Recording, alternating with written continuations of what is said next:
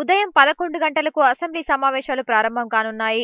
ఈ సమావేశాలలో తెలంగాణ ఆర్థిక శాఖ మంత్రి ఈటెల రాజేందర్ తొలి బడ్జెట్ను ప్రవేశపెట్టనున్నారు. ఈ సందర్భంగా గన్ పార్క్ వద్ద ఉన్న అమరవీరుల స్థూపం వద్ద ఈటెల రాజేందర్ మంత్రి హరీష్ రావు పలువురు టీఆర్ఎస్ ఎమ్మెల్యేలు నివాళులర్పించారు. తెలంగాణ రాష్ట్రాన్ని సాధించుకొని తెలంగాణ ప్రజల ఆత్మగౌరవ బావుటాన్ని ఎగిరబెట్టడమే కాకుండా అరవై సంవత్సరాలుగా తెలంగాణ జాతి ఏ సమస్యలైతే పరిష్కారం కావాలని చెప్పి ఆక్రందనలు చేసిందో ఆ సమస్యలు పరిష్కరించుకోవడానికి ఈరోజు ప్రజల ఆమోదంతో ప్రజలు మెచ్చే పద్ధతిలో ప్రజలు నచ్చే పద్ధతిలో బడ్జెట్ ప్రవేశపెట్టుకున్నందుకు ఇవాళ సంతోషంగా గర్వంగా ఉంది. ఖచ్చితంగా తెలంగాణ అన్ని వర్గాల ప్రజల యొక్క ఆశలను ఆశయాలను నెరవేర్చే దృక్పథంతో ఒక కొత్త ఒరవడిలో ఈ బడ్జెట్ రేపు ప్రవేశపెట్టబోతున్నాం.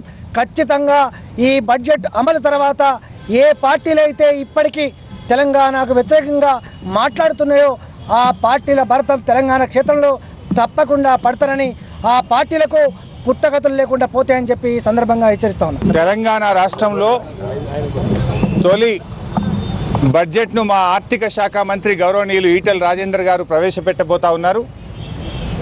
నేను ఈ సందర్భంగా గౌరవ విపక్షాలందరికీ కూడా మనవి చేసేది ఒక్కటే. శాసనసభ ప్రతిష్ట పెంచే విధంగా మన శాసనసభ గౌరవాన్ని ఇనుమడింపజేసే విధంగా పార్లమెంటరీ సాంప్రదాయాలను కాపాడుకునే విధంగా ఈ సభ జరుపుకుందాం.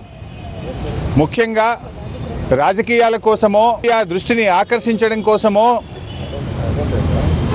మీరు సభ మర్యాదలను మంటగలపొద్దని చెప్పి సందర్భంగా నేను విజ్ఞప్తి చేస్తా ఉన్నాను.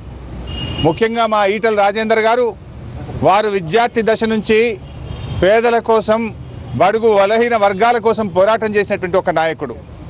ఉద్యమములో క్రియాశీలకంగా పోరాడినటువంటి ఒక నాయకుడు. ప్రజల కష్టాలు దగ్గరగా చూసినటువంటి నాయకుడు. వారు ఈరోజు బడ్జెట్ను ముఖ్యంగా తెలంగాణ ప్రజల ఆకాంక్షలకు అనుగుణంగా తెలంగాణ ప్రజల కష్టాలను దూరం చేసే విధంగా వారు ఒక మంచి బడ్జెట్ను వారు ప్రవేశపెట్టబోతా ఉన్నారు. మరి ఈ సందర్భంగా గౌరవ విపక్షాలు సహకరించాలని బడ్జెట్లో మీరందరూ కూడా చర్చలో పాల్గొనాలని కోరుతా ఉన్నాం. మీకేదైనా భావనలు ఉంటే రేపటి నుంచి చర్చించుకోవడానికి చాలా అవకాశం ఉంది. బడ్జెట్ మీద మాట్లాడడానికి ఏ అంశాన్నైనా ఏదైనా చెప్పడానికి మీకు అవకాశం ఉంటుంది. అందువల్ల గౌరవ ఆర్థిక మంత్రి గారు బడ్జెట్ ప్రవేశపెట్టేటప్పుడు సంయమనంతో సభా సంప్రదాయాలను కాపాడే విధంగా సహకరించాలని గౌరవ విపక్షాలందరికీ కూడా నేను విజ్ఞప్తి చేస్తాను